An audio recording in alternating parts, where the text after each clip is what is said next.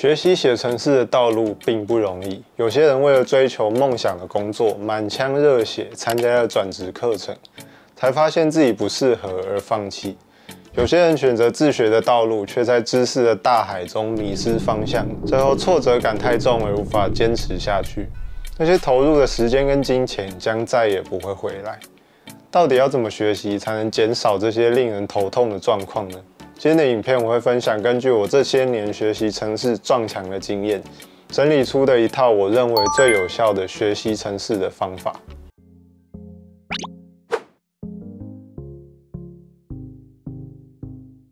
我这个学习方法可以分为五个阶段，分别是目标制定、蓝图、免费资源、先上课程、实体课程、实作 project。接下来我们就来详细介绍，在每一个阶段你该做哪些事情吧。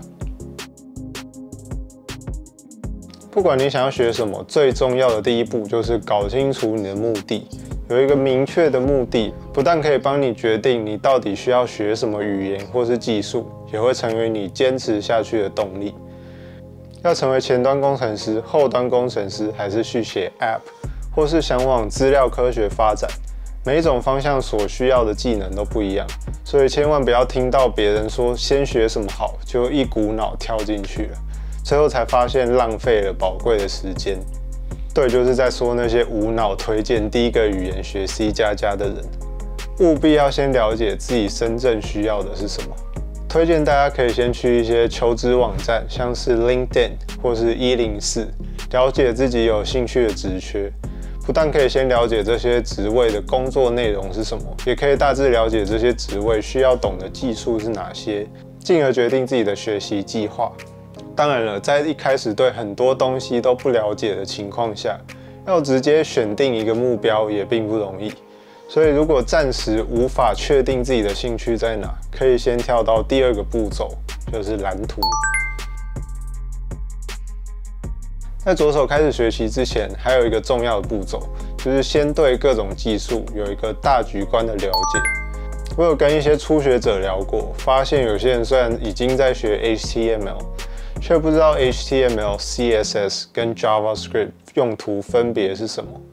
也遇过学一种语言学到一半遇到一个瓶颈，就想换另外一种语言学习的人，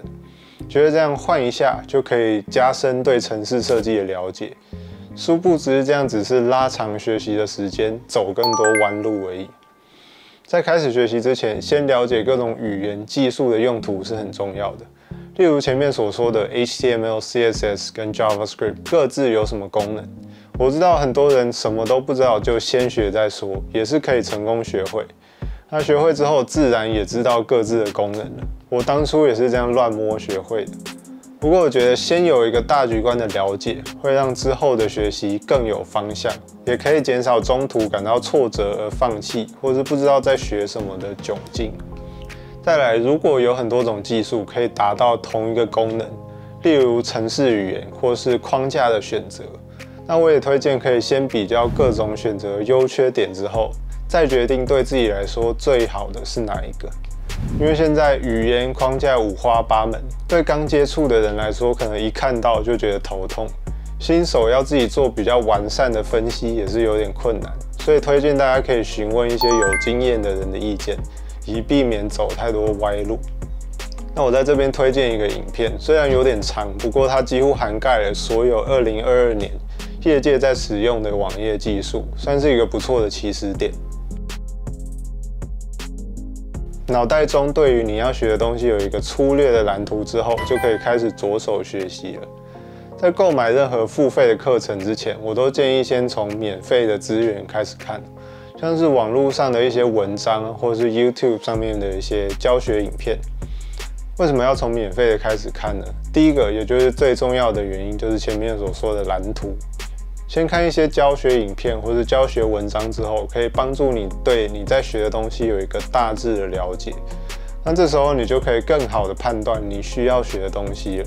如果你发现你对写程式没有兴趣，也可以现在提早放弃，不要等花钱上了课之后才发现不适合，那就真的血本无归了。看了一些免费资源，有了初步的了解后，如果你确定你是有兴趣想要继续学下去的。就可以考虑购买付费的课程了。既然现在网络上这么多免费的教学，那免费教学跟付费的线上课程又有什么差别呢？有免费的，为什么还要花钱买课？从我自己的经验来说，付费的课程最大的好处就是它会把某一项技术由浅入深的教给你，课程内容已经系统化的帮你整理好了，所以你只要选一个好的课程，然后跟着课程去操作，结束之后你基础应该要会的东西。通常他都带你操作过一次，剩下的就只是自己实际做 project 才会真正的熟练跟内化。另外一个好处是自己花钱买的东西总会比较珍惜嘛，都花钱买下去了，为了不浪费，多少也会比较有动力去把它看完。像我之前还不会前端技术的时候，就是看 Udemy 上面的 React 的 Complete Guide 这个课程，学习 React 的基础。课程除了 React 的基础观念，到一些优化技巧、Redux 的使用等等 React 重要的基础知识之外，它也会带你完成一个小 project。透过课程学到扎实的基础之后，我自己又另外做了几个 project，后来就顺利的发挥当时学习到的技术，找到全端工程师的工作了。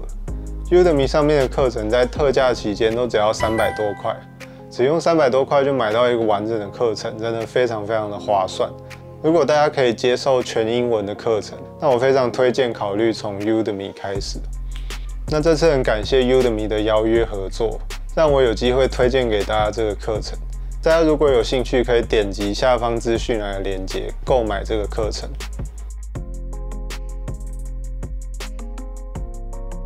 首先，我想讲一下为什么我把实体课程的顺序排在线上课程的后面。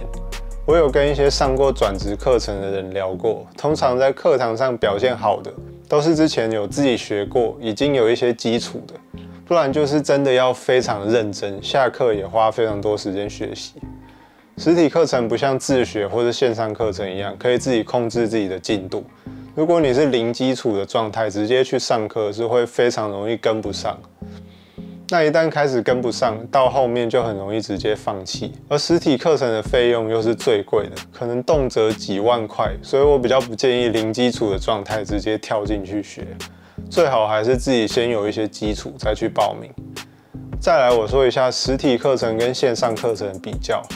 我认为使用线上资源或是线上课程的学习效率一定是比实体课程好的，不过实体课程也是有无法取代的优点。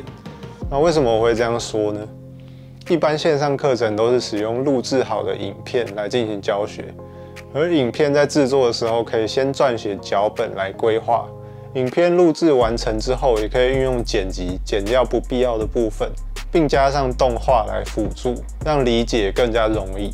所以经过这些规划跟后置的影片，资讯是更浓缩的，可以比实体课程更有效率的传递资讯。相比之下，实体课程直接 live 去教，效率其实是很低的。这也是为什么很多大学都开始使用翻转教室的方式去上课，把教授宝贵的时间花在解答学生的问题，而不是一直花时间在重复性的授课上面。不过，实体课程有几个无法取代的好处。第一个就是可以跟一群有同样目标的人一起学习，在那样的气氛下，通常会更有动力去学习。比较不会学到一半就失去动力。第二个好处就是分组的合作机会，在实体课程中，通常最后都会分组，然后合力去完成一个 project。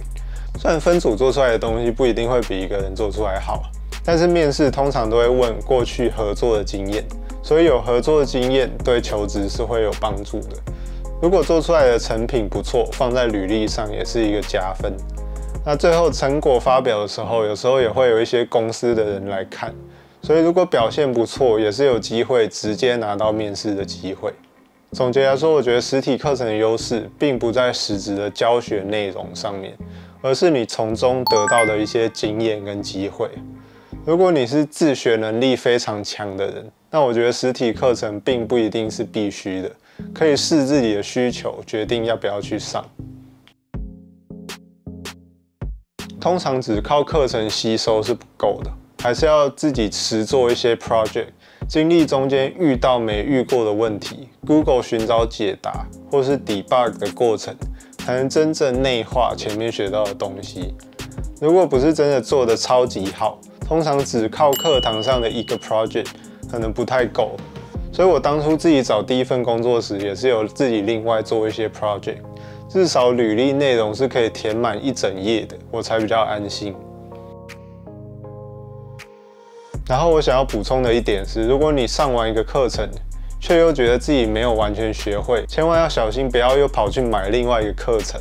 然后进入不断上课，然后一直觉得学不会的无限循环，最后浪费一堆时间。刚上完课觉得没有完全学会是非常正常的，会觉得没有学会的原因是因为你只是跟着课程把它做完，但是你没有自己拿来应用的经验。所以真正的解法是你自己开始动手做一些东西，遇到问题就自己上网 Google 找答案，这样才能掌握工程师最重要的解决问题的能力。那以上就是我认为能够降低因为挫折而放弃的几率，也能够最小化浪费钱在不必要的课程上的风险的学习系统啦。我还记得我大学的时候有段时间就非常的挫折，当时就觉得我们在学这些计算机的理论跟演算法，但是我却连我们平常每天在使用的电脑程式都不会写，这到底是怎么回事？那我当时会这么挫折的原因，就是我不知道我在学习的东西到底有什么应用。也不知道那些东西的目的是什么，所以现在我在做教学的时候，包括现在这套学习系统也是，我都非常强调要从实际应用的场景来带入，还有要知道自己学习的目的，那这样学习的时候才会更有动力，学会的时候也会更有成就感。可能有些人会想问，如果不花钱，完全使用免费的资源是可行的吗？网络上有很多免费的资源，也整理了不比付费的课程差，所以我觉得只要找到一个好的教学，然后有耐心的学完，效果也不会比较差。不过因为它是免费的，大家通常就会比较不珍惜嘛。那可能一个教学看到一半就觉得，哎，这个教学好像更好，结果你没看完又跑去看另一个，那这样学习效率就会变得比较差了。加上网络上免费的教学真的是非常多。新手看到这么爆量的资讯，也会很容易不知道到底要从哪边开始。所以我建议，如果你想要完全走免费的路线，那可以找有经验的人稍微指点一下方向。不然就是你脑中要有一个清楚的蓝图，搞清楚自己在干嘛，明确的往一个方向去前进，比较不会走太多弯路，然后越学越挫折，最后就放弃。那今天的影片就到这边如果喜欢我的影片，记得帮我订阅、按赞、开启小铃铛。那我们就下支影片见，拜拜。